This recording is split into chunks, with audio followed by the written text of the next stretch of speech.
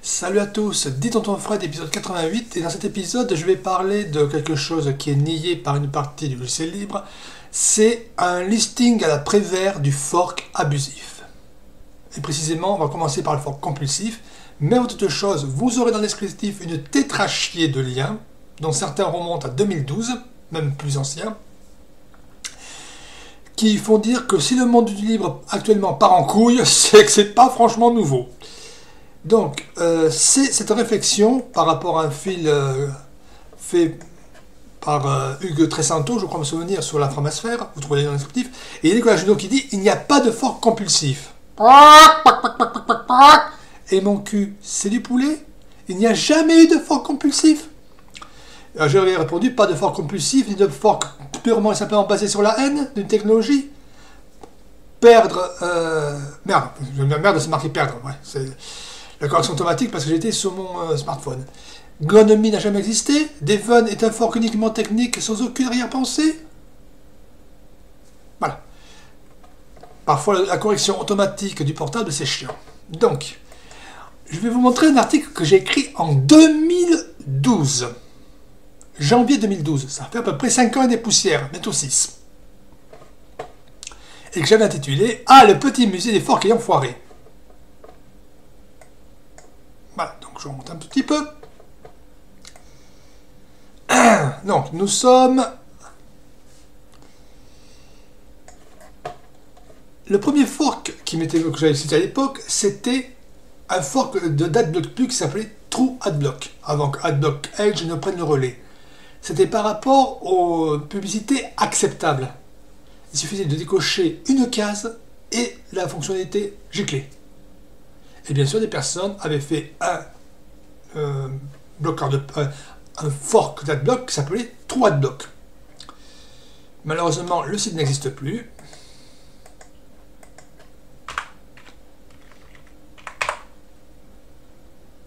Maintenant, c'est un site euh, qui parle chinois ou japonais, je ne sais pas, bref, une langue asiatique. Donc, déjà, premier exemple de fork compulsif. Pour une case à cocher, on fait un fork. Donc, là, je vais revenir sur Gonomy. Ça, c'est l'exemple parfait du fork compulsif. On est en 2004.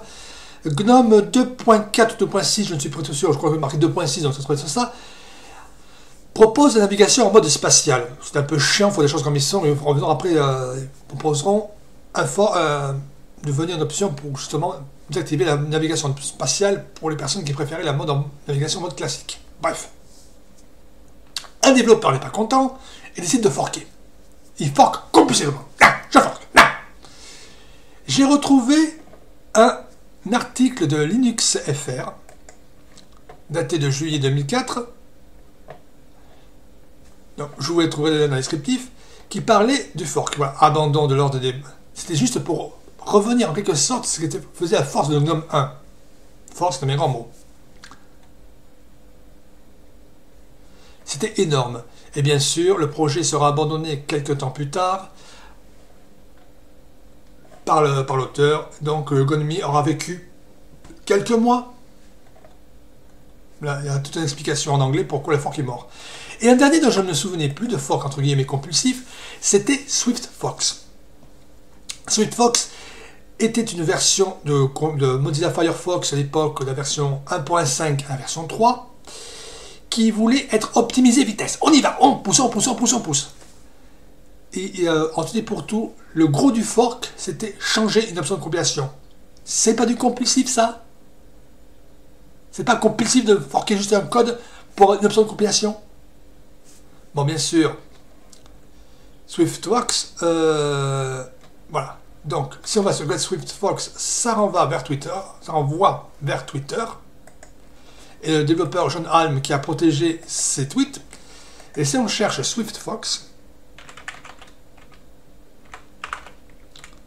voilà. Euh, SwiftFox Wikipédia. SwiftFox Wikipédia. Voilà.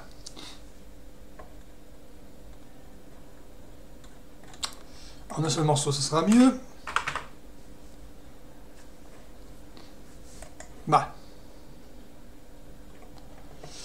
Et en anglais, c'est encore mieux parce que là, ça prouve que le projet. Bah, à quoi ressemblait le projet à l'époque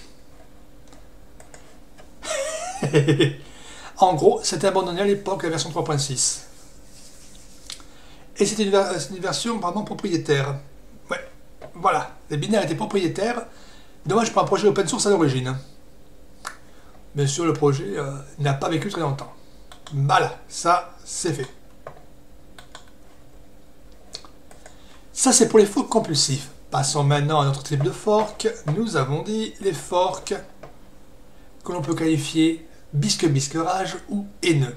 Et là, bien sûr, le principal pourvoyeur récent de fork haineux, c'est systemd. Et qui dit systemd dit Devuan, dit Artix Linux. En clair, les distributions dérivées euh, des forks de distribution qui ont été uniquement forkés parce que systemd est arrivé. Bien sûr, les justifications, mais c'est juste parce que systemd était là. On va parler bien sûr de Devuan. Exodus Declaration, mais c'est soi-disant pour protéger, pour, pour, pour, le choix, oui.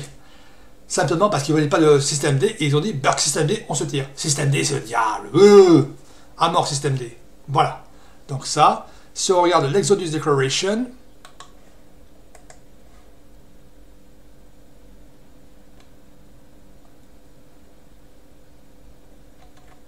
il justifie avec le principe du, les principes uniques et compagnie. Pour pas dire on ne veut pas de système D, donc on fork. Voilà. Et c'est le même principe avec Artix. Anciennement Manjaro OpenRC, était un très bon projet, on ne saura jamais pourquoi le projet a été foutu à la porte. Il a fusionné avec HOpenRC, qui est une sacrée merde, et ça donne Artix. Et d'ailleurs, c'est bien connu, là où l'Artix passe, une distribution GNU Linux trépasse parce que c'est une grosse merde à mettre en place. Je ne préciserai pas pourquoi. Je vous renvoie à quelques vidéos dans le descriptif. Vous comprendrez pourquoi l'Artix, c'est vraiment de la merde. Voilà. J'avais fait une vidéo c'est trop lycée permis. Peut-on installer l'Artix Je vous mettrai dans le descriptif. Et dernier type de fork, les forks, c'est c'était mieux avant sur le plan graphique ou sur le plan des euh, techniques et compagnie. Donc c'est le fork, c'était mieux avant. Et là, bien sûr, on va parler de Firefox. Et de certains forks comme Palmoon, Basilisk ou encore Waterfox. Commençons par Palmoon. À l'origine, Painmoon voulait être optimisé pour la vitesse, et puis comme ça a pu être justifié, ils ont dit on va remplacer, euh, on va prendre le code de source de Firefox, le forquer, parce qu'on ne veut pas d'interface Australis, celle qui est arrivée à l'époque de Firefox 28, de mémoire. Celle qui donnait l'interface avec la disparition de la barre en haut et compagnie. Bref, ils n'en ont pas voulu, ils ont forqué. Et après, ils ont justifié, oui, on peut faire ci, on peut faire ça. Justificatif a posteriori. Voilà. Sur les détails techniques. Euh,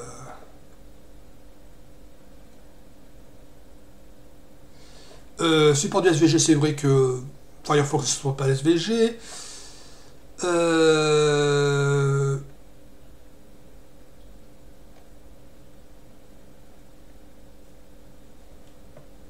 il ne supporte pas le WebRTC, bon c'est dommage. ne supporte pas le lecteur PDF intégré. Il garde Panorama, le, groupe d'anglais. Ouais, c'est pas plus mal, ça c'est mon truc. Mais sinon, c'est un fork d'un vieux code de Firefox. Donc il commence à sentir un peu le moisi sur certains plans. Et c'est pas, pas la joie. Donc ils ont forqué une nouvelle fois le code, mais cette fois-ci, ils ont justifié en disant les web extensions, ça pue. On ne veut pas des web extensions, on veut garder Xul. Tant pis, s'il y a des de sécurité, on n'a rien à foutre. Et tant pis, on se retrouve avec un navigateur qui est trois fois plus lent que le reste. Génération, la nouvelle génération. Voilà. Ils disent, ouais, on va conserver Xul et compagnie. Mais bon courage pour conserver Xul. Bon courage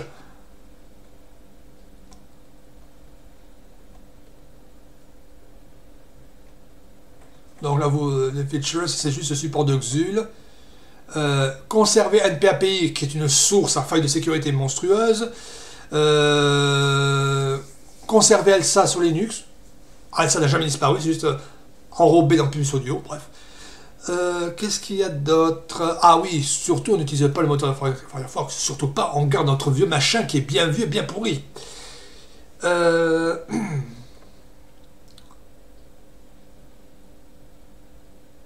Ne pas utiliser Rust, surtout pas, ne pas utiliser des technologies modernes.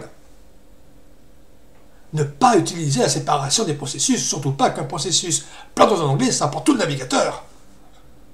Et surtout ne pas de mettre extension signée. C'est vrai, il faut, faut utiliser toutes les extensions.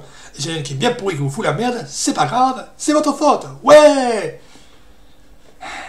Et dans le même principe, pour finir, nous avons Waterfox, qui reprend le même principe, qui était à l'origine comme Moon basé sur la vitesse, et puis qui se justifie en disant on va se mettre sur la vie privée. Je veux bien, mais quand on regarde les paramètres techniques, bon, UDE active les DRM de navigateur. Ils ne sont pas activés par défaut, la preuve.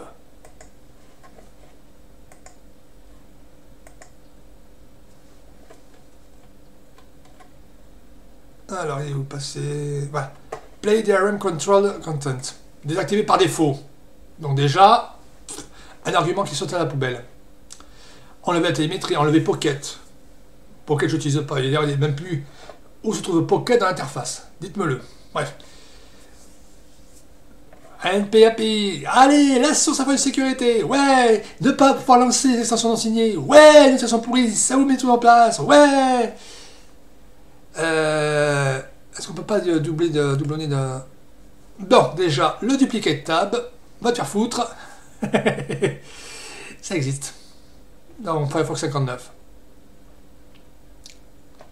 Bref, des justifications plus ou moins vaseuses pour un fork je lui souhaite bonne chance, mais ça c'est vraiment le fork. C'était mieux avant, voilà. On continue comme ça. Voilà, c'est tout pour cette vidéo. Vous avez tous les liens dans le descriptif, vous avez été traché. Maintenant, vous avez la liste des forks qui ne servent pas à grand chose, l'utilisation abusive du fork, et je maintiens bien abusive. Le fork est un très bon principe, mais en abuser, ça craint. Sur ce, je vous laisse, je vous dis salut à tous, et à la prochaine, ciao